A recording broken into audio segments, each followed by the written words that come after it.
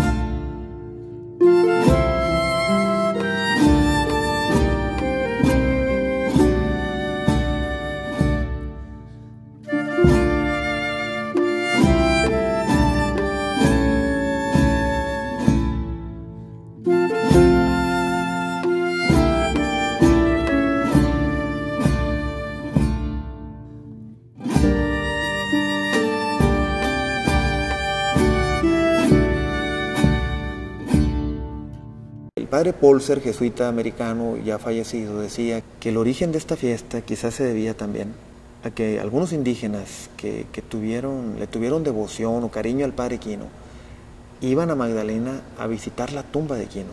Algunos creen que este es el origen y hasta la fecha, ¿no? Hay mucha gente que va a ver a San Francisco y visita los restos del padre Quino.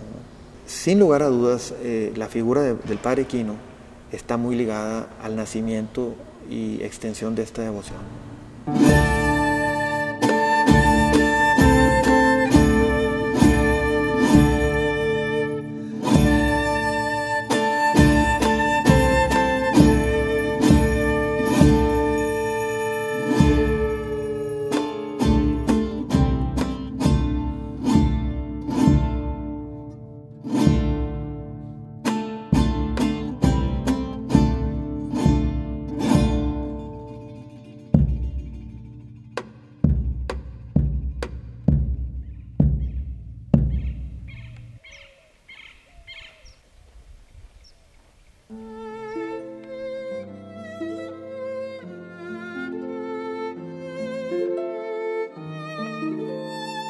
Eusebio Kini Luki nace en Segno, pueblo cercano a la ciudad de Trento, en el norte de Italia. No se ha podido determinar la fecha exacta de su nacimiento, pero se sabe que fue bautizado en la parroquia de Torra el 10 de agosto de 1645. Dos años antes de su nacimiento, en 1643, moría en México a los 88 años el padre Pedro Méndez, responsable de crear las bases misionales en Sinaloa y Sonora, con los yaquis, los mayos, junto a otros padres de la Compañía de Jesús, y así iniciar la obra que completará muchos años después nuestro Padre Eusebio.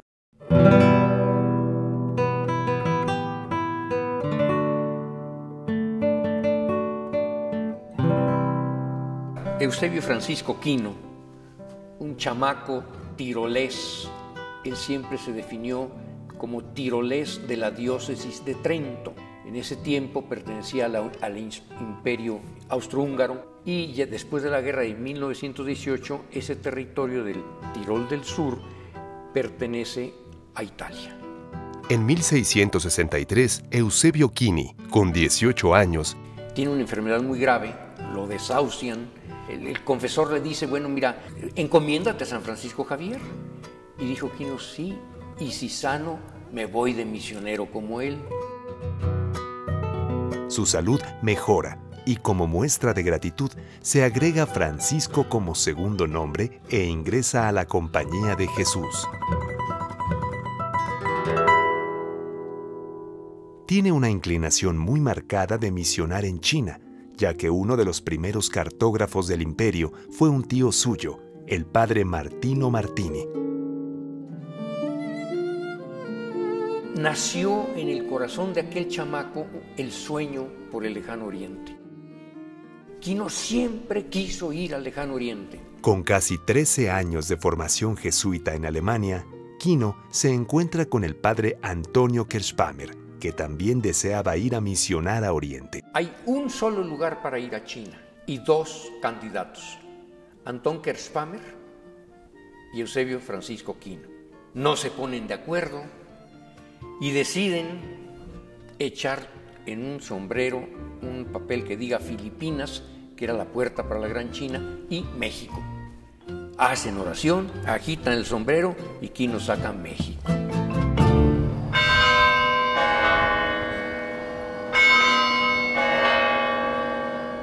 El 12 de junio de 1678, los dos misioneros y un grupo de 17 jesuitas parten desde Génova hacia Cádiz.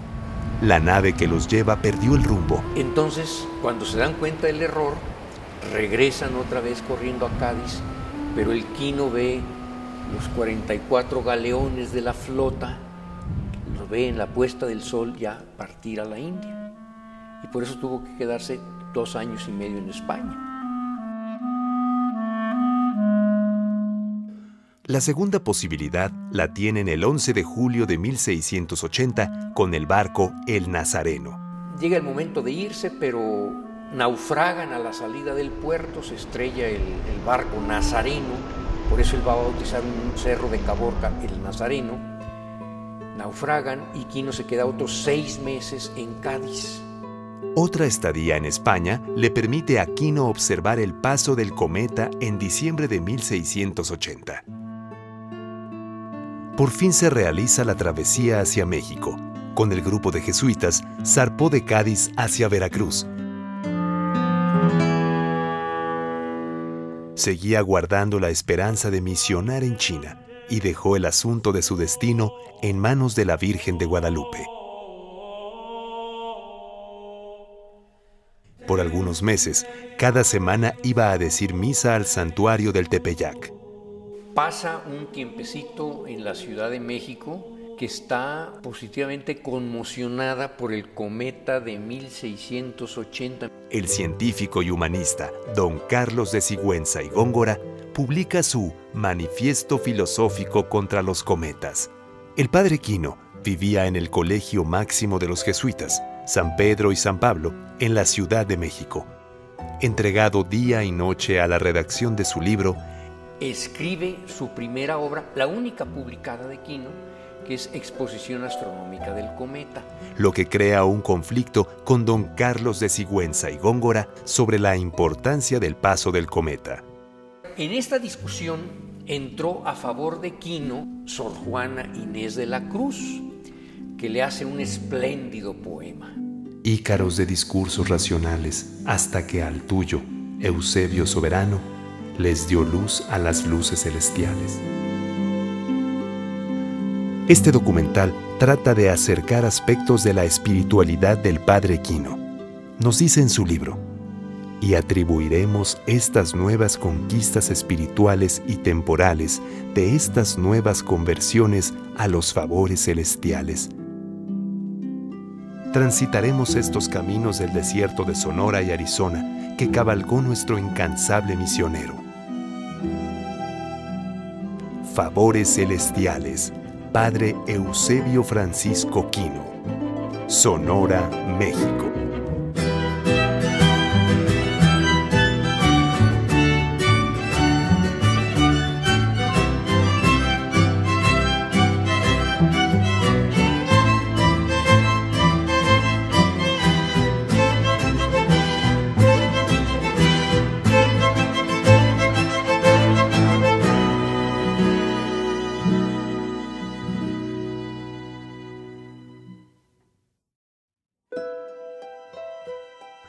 Padre provincial Luis del Canto tenía la solicitud del almirante don Isidro de Atondo y Antillón de proporcionarle dos jesuitas para una expedición a California. Y como Quino llegaba bien preparado en matemáticas de la Universidad de Ingolstadt, pues le dijo, te vas a California.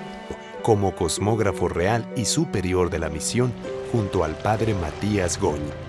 El 5 de abril de 1683, toman posesión de California e improvisan una capilla en La Paz. El padre Quino escribe, llegamos al puerto de La Paz y más arriba, en altura de 26 grados al Real de San Bruno, y por tierra pasamos hasta la contracosta. Después de haber atravesado la península, del Golfo a la contracosta, o sea, al Pacífico, allí Quino se encuentra unas conchas de abulón que no existen en el Golfo de California, sino solamente en el Pacífico. Regresan a San Bruno, el escorbuto, la falta de víveres, hubo que abandonar la misión. Ah, cuando habían abandonado la misión de San Bruno en la Baja California, y vienen a refugiarse en lo que en aquel entonces era conocido como la ensenada de San Juan Bautista. Al acercarse aquí a estas tierras, llegan y conocen a los seris. Los seris iban a la isla de Tiburón a pescar. Los, seris son un grupo especialísimo, todavía quedan como 600 seris son un grupo de una lengua no yuto-azteca, sino jocana, totalmente distinta. Yo soy el presidente del Consejo de Ancianos de la Nación Concac.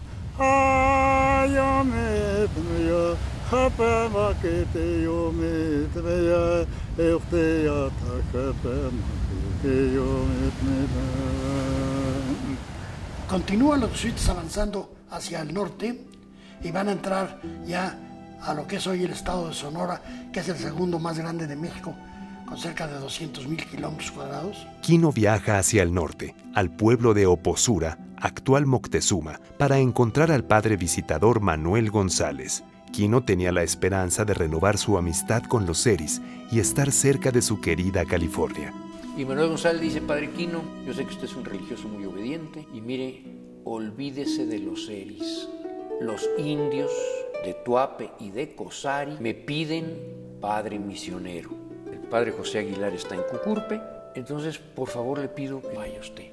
Eusebio Francisco Quino entró a los confines de la cristiandad para quedarse por 24 años y para siempre en el corazón del pueblo sonorense.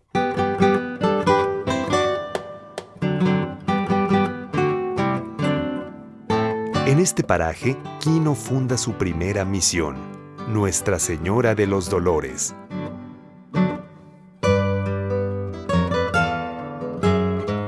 Queda con toda entrega a transformar esa pequeñita aldea de Cosari en la misión de Nuestra Señora de los Dolores. Ahí está la figura del padre Eusebio Francisco Quino, figura extraordinaria, con su misión de base. En el caso de la misión de, Dolores, ahí era su casa, ahí era el lugar donde regresaba el padre Quino y tenía sus habitaciones. Del punto de vista de la arqueología, el pueblo del padre Quino está aún ahí bajo la superficie y podría ser rescatado y estudiado. Sin embargo, pues la visita es nada más al punto simbólico de la entrada de, de Quino a la Pienería Alta. Eh, él llega el 13 eh, de marzo de 1687 y el mismo día, sin perder un momento, salen a la primera gira misionera, a San Ignacio y después a Imuris y después a Remedios. Tres pueblos, esa es su primera gira. Junto al padre José Aguilar, a unos 50 kilómetros de Dolores, llegaron al río San Ignacio, donde estaba la aldea de Cabórica, y la llamaron San Ignacio. Años más tarde llega el padre Agustín de Campos, gran amigo y compañero del padre Quino, quien permaneció en la misión por 43 años. La estructura actual se calcula fue edificada por los años 1772 y 1780, durante el periodo franciscano, por el padre Fray Francisco Sánchez Úñiga. Los jesuitas fundaban su misión en pueblos que serían cabecera con padre residente, quien estaría a cargo de otros poblados menores dentro de su área, llamados pueblos de visita. El territorio de los Pimas siempre estuvo sujeto a los ataques de los apaches.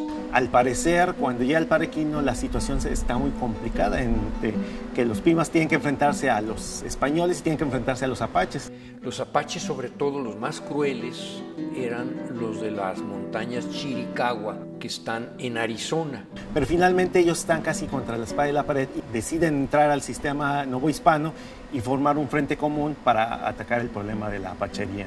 Entonces Quino, como una analogía del ejército guaraní, del Paraguay, Quino ayudó al capitán Ramírez de Salazar a organizar un ejército de pimas, pues contuvo con una victoria muy muy fuerte del jefe Coro, un amigo de Quino, eh, en donde mataron muchísimos apaches y los tuvieron ya calmaditos. Nuestra Señora del Pilar y Santiago de Cocóspera fue visitado por Quino por primera vez poco después de 1687. Es un templo muy ecléctico que, que inició el padre Quino. Que algunos le dicen la Sixtina del desierto, ¿verdad? Pero es construcción adobe, son jesuitas, pero todo el revestimiento, estucos y todo son franciscanos. Cocóspera contiene estas dos etapas físicas constructivas en su interior. Y estos templos requieren tanto esfuerzo que resultaría muy difícil pensar que cuando llegan los franciscanos derrumbarían el edificio y construirían uno nuevo. No. Al parecer lo que hacen los franciscanos es que ellos llegan y reutilizan los muros de adobe y hacen los altares laterales y utilizan el ladrillo como material constructivo, dejando adentro de los muros el muro de adobe original del periodo jesuita. Se mantiene en pie y sobrevive a pesar de las condiciones climatológicas de mucho calor, de lluvias torrenciales, de nevadas, de frío extremo, es, una, una, construcción que se está defendiendo y defendiendo esa historia y es como un monumento de la perseverancia. ¿no? En 1688, Eusebio Francisco Quino fundó la misión de Santa María Magdalena de Buquibaba la primera capilla fue construida en 1691 como visita de San Ignacio. En 1695, el templo fue destruido durante la rebelión Pima.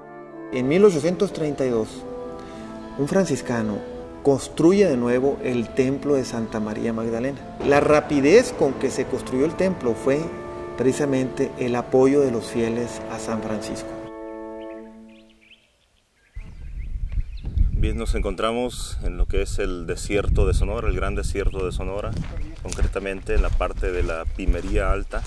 Ahora me encuentro con mi padre en esta actividad tradicional en esta región que es la recolección de la pitaya. Bueno, los mismos eh, misioneros se encuentran con que los nativos se dedican a la recolección de la pitaya para la elaboración de, conservas o como un alimento. Documentan en algunos de sus relatos tanto eh, los que acompañaban a Quino como los eh, misioneros que estuvieron posteriormente en estas tierras.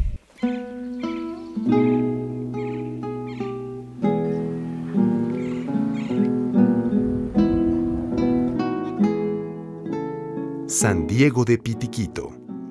Quino visita el lugar y lo funda como visita de misión en 1689. Inicialmente era la ranchería del Pitiquí, que dependía de la misión de Caborca. La actual construcción a base de ladrillo quemado fue obra de los franciscanos.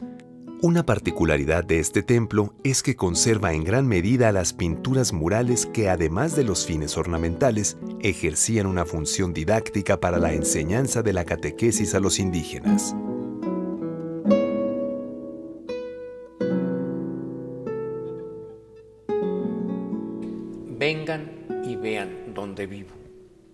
Háganse amigos, somos amigos. vengan y vean. Como Jesús en el Evangelio que le dijo a los apóstoles, ¿dónde vives? Vengan y vean. Vénganse. ¿Les gusta esta manera de congregarnos en pueblos? La iglesia, trazado con cordel las calles, miren las estancias de ganado. Ah, sí nos gusta mucho. Bueno, pues entonces hay que congregarse en pueblos y sembrar maíz y trigo. Les gusta después, en un tercer momento, los hacemos cristianos. Así fue poco a poco haciendo misiones Quino. San Antonio de Oquitoa. Fue fundada por Quino en 1689. Fue asignado el padre Antonio Arias como su primer misionero, quien la puso bajo el patrocinio de San Antonio de Padua. Okitoa no alcanzó mayor importancia.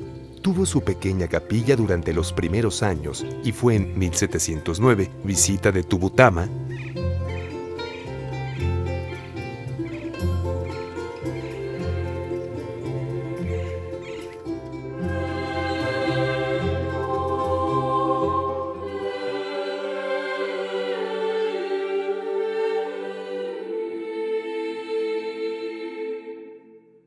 refrán en México que dice primero comer que ser cristianos.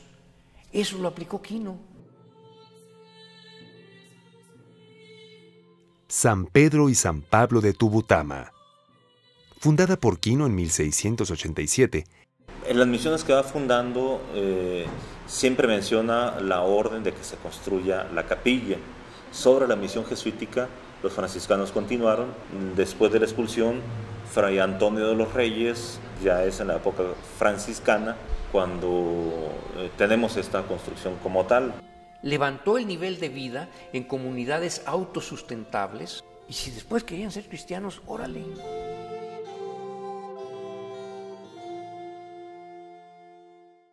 Aquí nací hace 67 años, no me he ido nunca de este pueblo. Lo conozco desde pequeño él y pequeño yo. Su gente, su vida, su transformación, su crecimiento, su desarrollo. Lo llevo en mi sangre y en el corazón más que todo porque quiero a mi pueblo. En verdad lo quiero.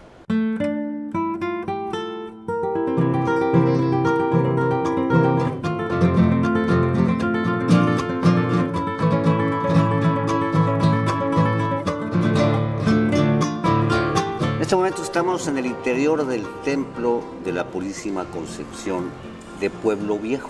la Purísima Concepción de Nuestra Señora de Caborca. Fue fundada por el padre Eusebio Francisco Quino en 1689. Tiene que ser la compañía de Jesús a través del Padre Quino quien llega a este sitio y al pie del Cerro Prieto, eh, que eso significa la palabra Caborca, Cerro Lomita, ahí celebra la primera misa y lo dedica pues a la concepción de Nuestra Señora. Se registran rebeliones de indios en Tubutama, Oquitoa y Pitiquito. Uno de los misioneros y amigo del padre Quino, Francisco Javier Saeta, designado a la misión de Caborca, es asesinado como consecuencia de estas rebeliones que queman y destruyen parte de la misión el 2 de abril de 1695. La muerte del padre Saeta causó un profundo pesar en el padre Quino, quien escribió un libro en su memoria. Y escribió un libro sobre la vida de Javier Saeta. Eh, es una joya de la misionología universal, verdaderamente. Él dice, el asunto del misionero no es asunto del misionero, es asunto de Dios. Por lo tanto, Dios sabrá cómo salvar a la gente. En Caborca se levantaron sucesivamente varios templos hasta que los franciscanos construyeron el que vemos ahora, entre los años 1797 y 1809. Caborca con dos pueblos de visita, San Diego del Pitiquito al este y San Valentín del Bizani al oeste. Se construye hasta dos capillas de adobe, quedan los vestigios de la última. Eh, San Valentín del Bizani es los restos físicamente visibles de las manos de Quino que estuvo trabajando para desarrollar ese pueblito, que está justa y precisamente entre Caborca y el Cerro El Nazareno.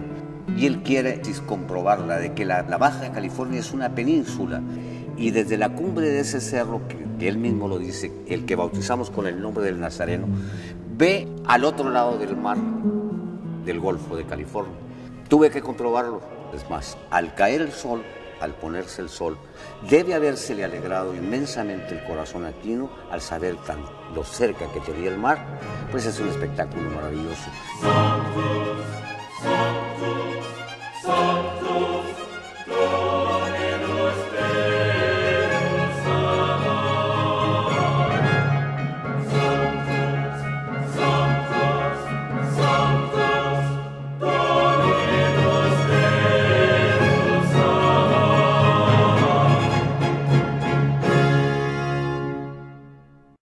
Nos encontramos en el sitio conocido con el nombre de La Proveedora.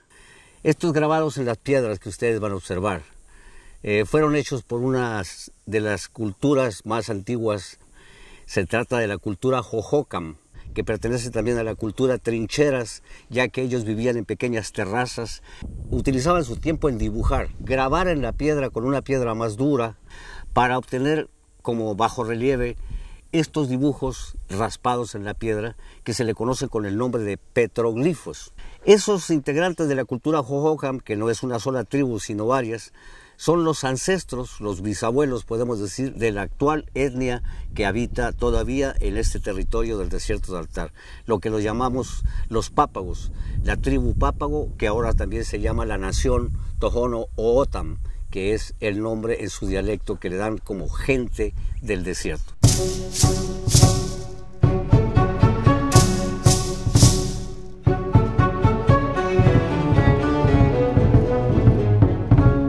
So uh, my name is Bernard Siqueiros, and I'm the curator of education here at Himdaki uh, Hukyu Humu in Bihap, which is the Tohono Nations Cultural Center and Museum located in Tapawa, Arizona.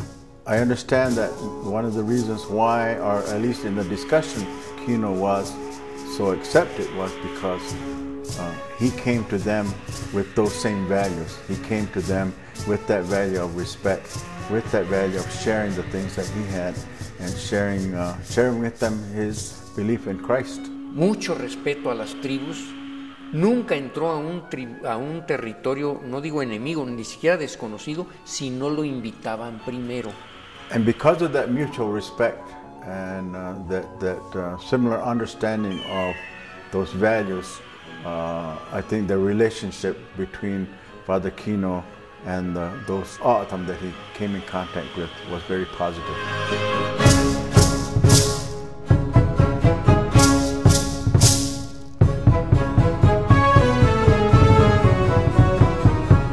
Reserva de la biosfera El Pinacate y Gran Desierto de Altar. Es el mayor desierto de arena de América del Norte, con un campo de dunas activas y estabilizadas. Eh, la reserva eh, cubre una extensión de 714 mil hectáreas, es una reserva de las más grandes de México y está inmersa en lo que es el desierto sonorense. Es una zona sagrada para los, para los O'odham o pápagos. So, in our belief system, when, when, when created the first autumn, he taught them those values that were important to survive in the land that, that they were created in. Los Tohono eh, vienen eventualmente a un sitio llamado Itoy, el castillo de Itoy, el cual es, ellos reconocen como su principal, eh, su dios, por así decirlo. ¿no?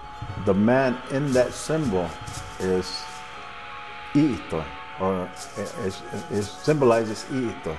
Y anteriormente fue parte de la ruta, de del Padre Quino, donde, donde caminó hasta la cima del volcán Santa Clara y pudo observar lo que fue el mar de Cortés, después la península, la península de la Baja California. Desde ese cerro, llamado también el Pinacate, divisó la desembocadura del río Colorado.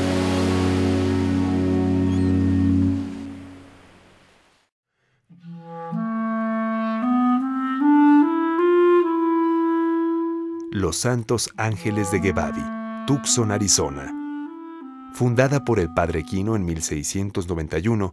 Father Quino also uh, founded a mission at Govavi, uh, which was, I think, probably in his day, it was only a, a visita. I'd have to think about that. But anyway, Govavi and Tumacacri uh, and San Javier were the three places where he actually, the, churches came to be established and that had resident uh, missionaries at one time or another in what is now Arizona.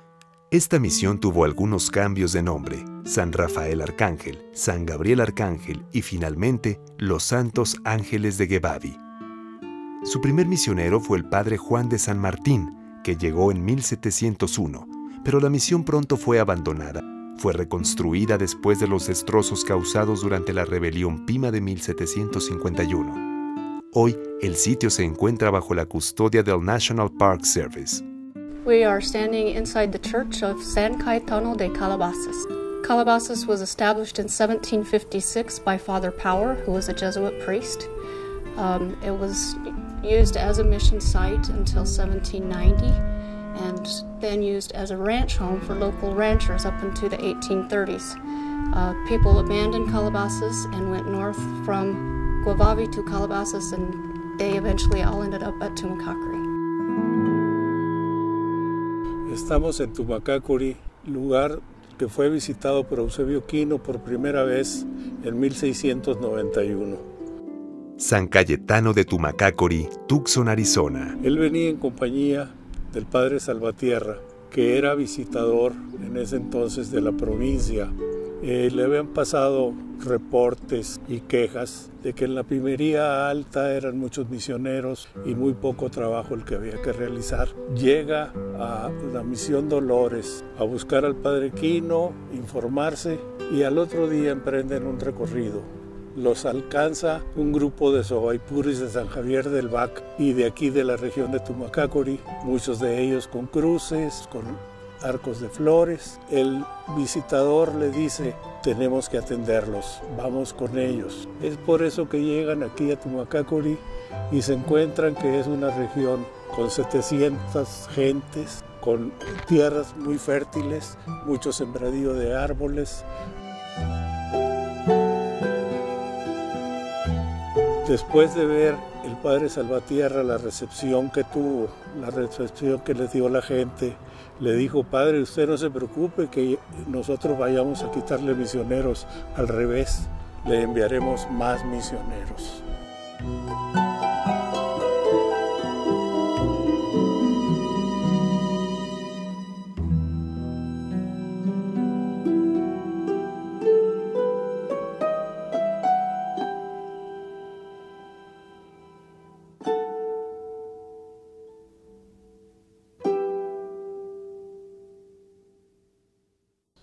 Amigo de Hermosillo un día, al que yo no conocía, me llamó y me dijo, ¿te gustan los caballos? Dije, sí. Pero hacía 15 años que no me subía un caballo. Y sin embargo me dice, te invito a una cabalgata desde Dolores, la misión Madre de Quino, hasta San Javier del Pac. Y yo dije, órale, mañana nos vamos.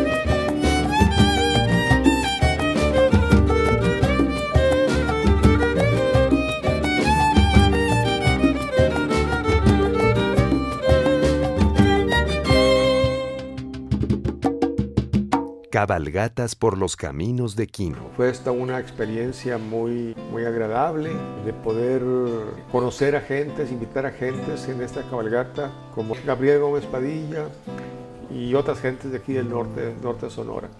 Andando el tiempo, unos indios de los Yumas por allá, muy en el noroeste, le mandan regalar unas conchas azul.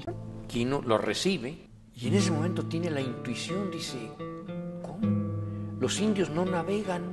¿Cómo pasaron estas conchas del Pacífico acá? A lo mejor hay un paso por tierra California. Y corresponde al padre Quino, toda esta historia va en favor del padre Quino, demostrar el paso por tierra porque él quiere abastecer desde Sonora o contribuir a las misiones de California con recursos de Sinaloa y de Sonora. Con esas conchas azules se va a San Javier del Bac, Tucson, Arizona. Y allí organiza una conferencia de todos los jefes del noroeste para que le expliquen el origen de las conchas azules. Y le dicen, está como a 10, 15 jornadas de camino hacia el poniente. Y sí, esas conchas pasaron por tierra. Entonces Quino empieza a buscar el paso por tierra California. Y son siete expediciones. Yo tengo un libro que se llama Cartografía y Crónicas de la Antigua California, y ahí trazo todas las expediciones y todos los mapas de Quino, y revela que el paso por tierra nos está confirmando que es península. Quino cabalgó 30 mil kilómetros a caballo, 30 mil kilómetros. Y de esos fueron como 6 mil buscando el paso por tierra a California. Hemos hecho también 23 años, bueno, 24 años de, de cabalgatas y fuimos descubriendo pues la gran capacidad que tiene el Padre Quino para para recorrer estos campos enormes de la pimería alta.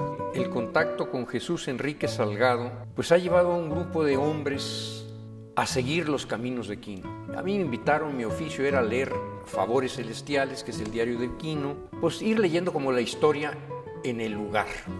Fue para todos nosotros de ver a las cabalgatas otra cosa, muy aparte de los, de los libros, pero que, que nos enseñaba en situ la, el ser del padre Quino. Buscarle mucho, la mano de Quino ahí estaba, o sea, nos encontramos el, el agua que debía estar, el cruce por la sierra, en qué pedacito estábamos. Y bueno, para muchos en particular, para, para mí ha sido una, un proceso de redescubrimiento. Empezábamos a hablar de Quino y les veía en los ojos, en los ademanes de las manos, que Quino estaba vivo, presente no solamente en la memoria colectiva del pueblo sonorense, sino en las vidas de estos que cabalgaban.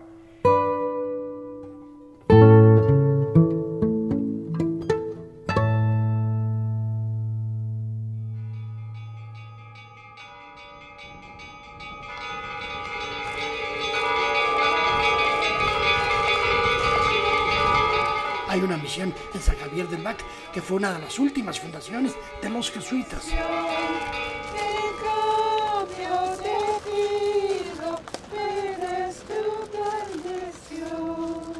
Estamos en este momento en la misión de San Francisco Javier del Bac en las afueras de Tucson, Arizona.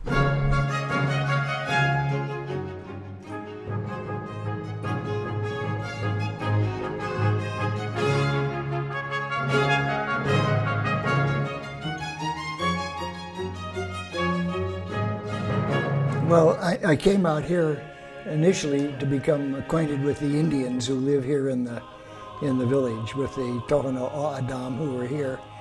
Uh, and uh, when I saw this beautiful building, uh, I was greatly surprised because you don't expect to see a building like this in the middle of the Sonoran Desert. Well, F Father Kino first arrived here in 1692, uh, and what he discovered was what may very well have been the largest village, uh, indigenous village in the entire Sonoran Desert.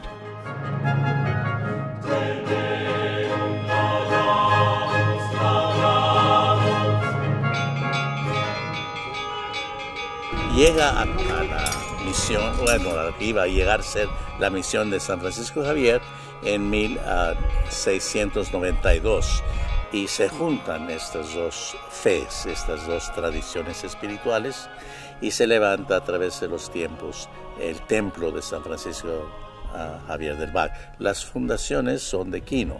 Eh, él no levantó templo, pero inició uh, unos cimientos. Father Quino in 1700, eight years after he first saw the village, put down saw to the, to the laying of foundations uh, for a church, but that church was never built.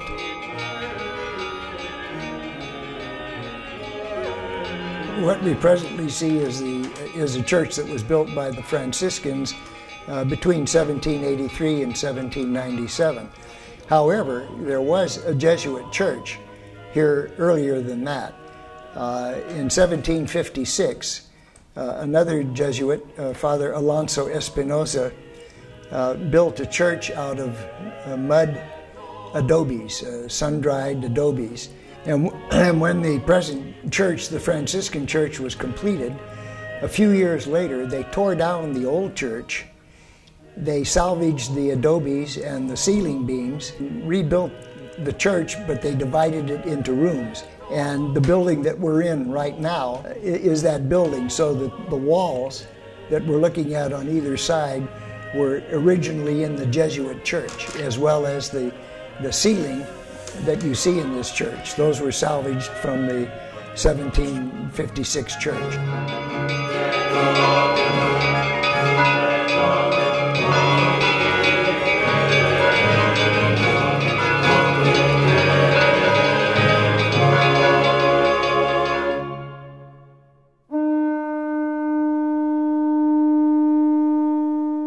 When we think about Father Kino and his legacy, uh, we always think in terms of, of the material things that he, uh, that he brought.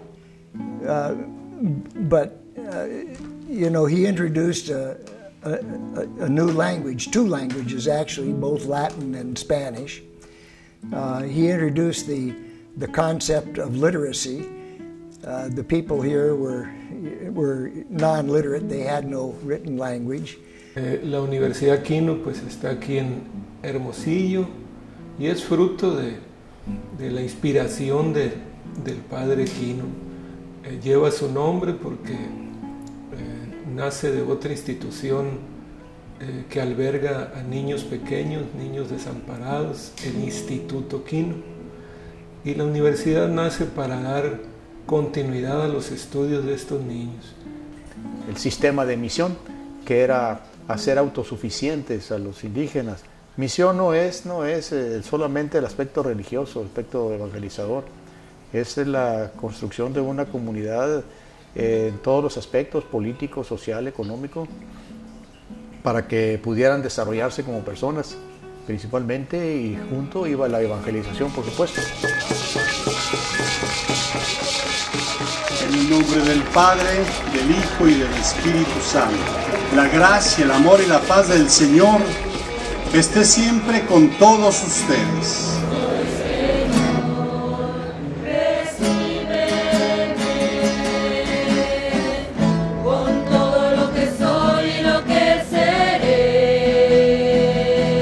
ver la forma como expresan su sentimiento religioso, su oración, hablando más con el corazón que con los labios, ver cómo pasan ante la imagen con un profundísimo respeto y cariño y después como un gesto y signo de humildad levantar su cabeza.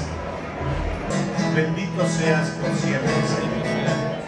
Soy Ulises Macías Salcedo, arzobispo de la iglesia de Hermosillo.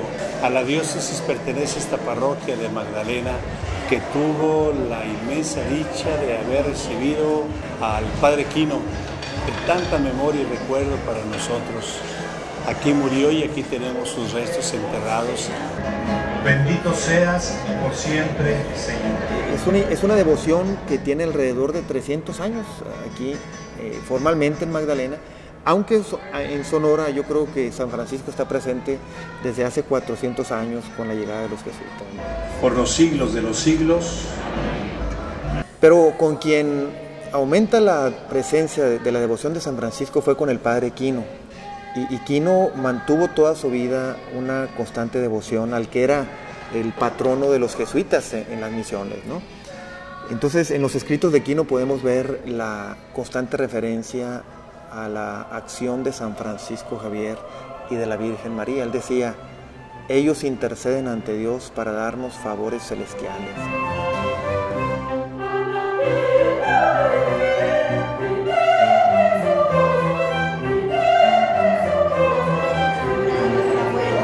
Dios te salve María, llena eres de gracia, el Señor es contigo.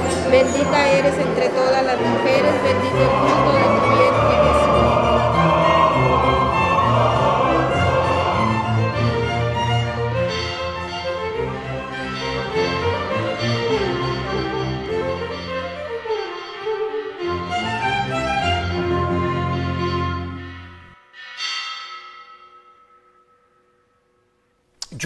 que la espiritualidad de Quino el ad majorem Dei gloriam de Quino se parece mucho a la manera de entender la gloria de Dios que tenía Irineo de León.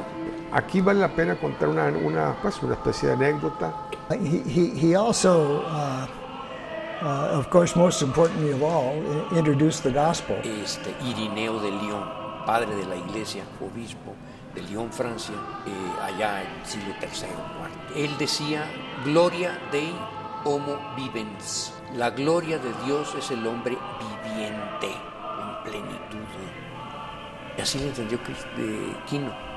Uh, and, and the extraordinary thing about his introduction of, of the good news to this part of the world is that uh, the, the Indians at various times rebelled against the Spaniards. Uh, but they never rebelled against Christianity. Quino ahí llegó a la Guaja de la Luna, que los indígenas decían que por ahí había, y cuando llegaron al primer, al primer lugar de, de tomar agua, encontraron que no había agua. Tuvieron que seguir para enfrente y encontraron en la Guaja de la Luna a la una de la mañana. Había luna llena de- del 11 de diciembre de esa época y lograron sobrevivir y ahí encontraron agua.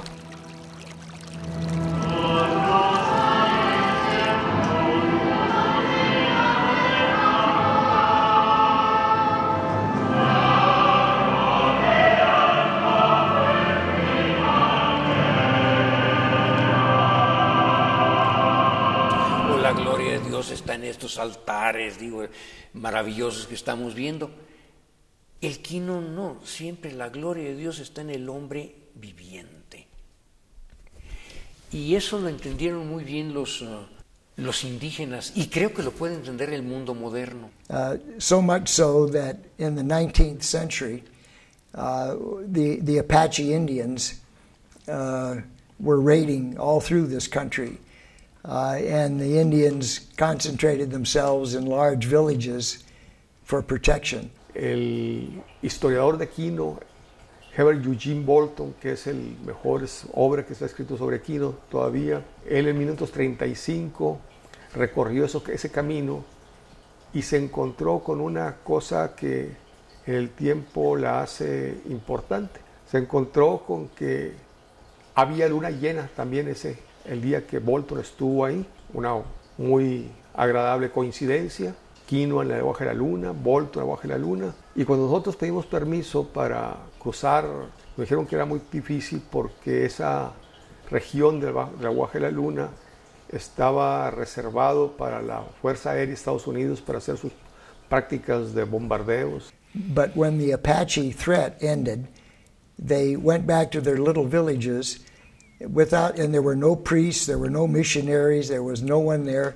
The first thing they did in their little villages was to build chapels. Y un día nos habla la encargada de ese departamento para decirnos que nos habían concedido permiso para una semana nada más en, en diciembre. Dimos las gracias y antes de salir una noche encontramos que íbamos a tener luna llena también nosotros. Y esa luna llena iba a ser el 11 de diciembre, un día antes de la, del festejo de la Virgen de Guadalupe.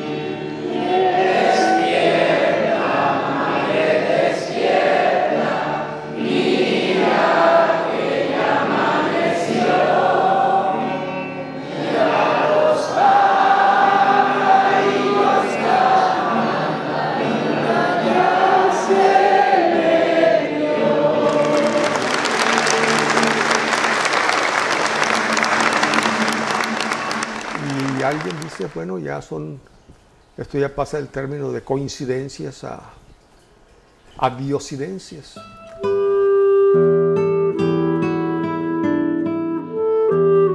En varias ciudades de México y de Estados Unidos, el padre Quino tiene monumentos. Son figuras en cierta manera comparables. Fray Junípero Serra y el padre Quino son dos avanzadas. Algunos colegas norteamericanos hablan del gran suroeste, the Great Southwest. Yo digo, ¿por qué Great Southwest? Nada de eso, el gran noroeste, porque ese noroeste no comenzó con ustedes, sino con nosotros.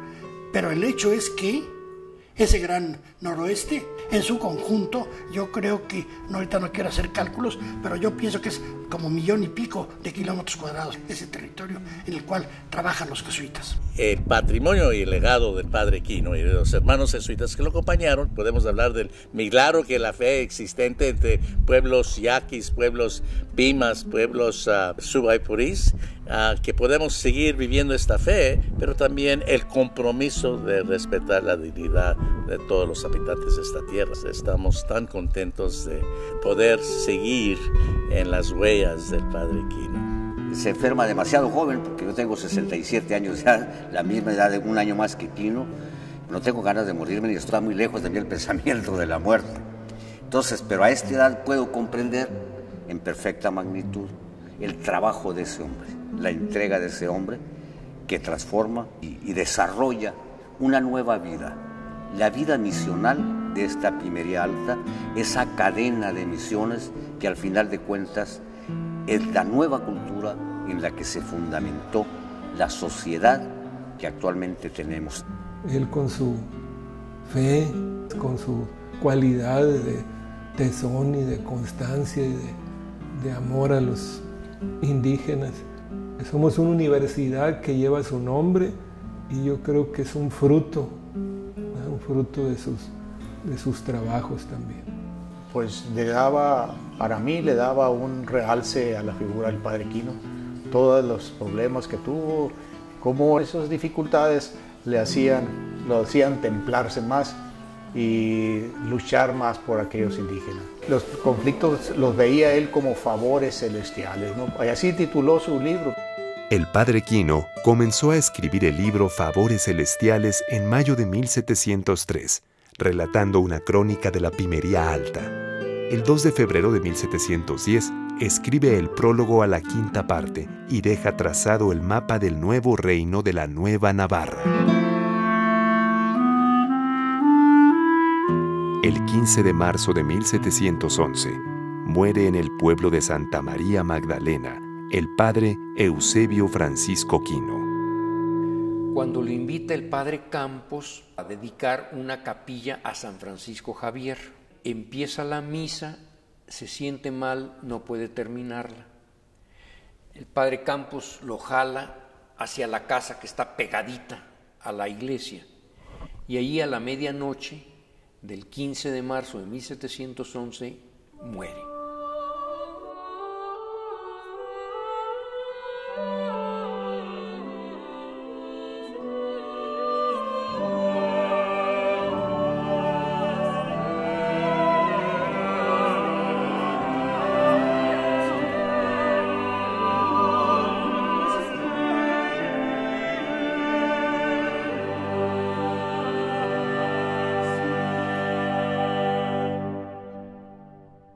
Yo digo que Quino es el padre de la cultura pimalteña. Quino dice así muy lacónicamente, yo los engendré por medio del Evangelio. Podemos estar de acuerdo o no estar de acuerdo con algo tan concreto como eso.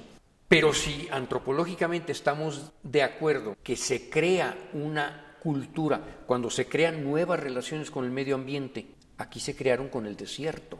Cuando se crean nuevas relaciones de los hombres entre sí, tribus que eran hostiles Quino las pacificó. Entonces, si hay nuevas relaciones con el medio ambiente y los hombres, yo digo que Quino es el padre de la cultura pimalteña.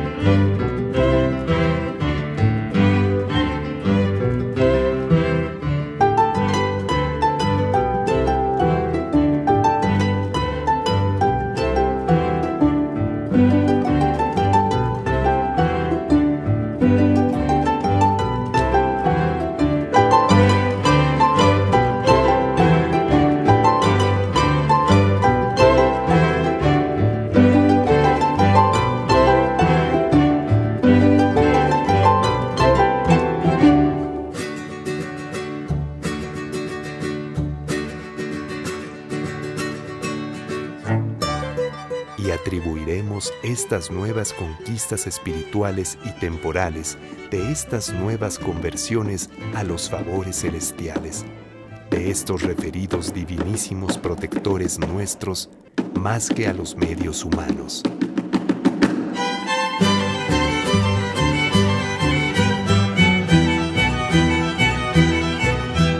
Favores celestiales. Padre Eusebio Francisco Quino, Sonora, México.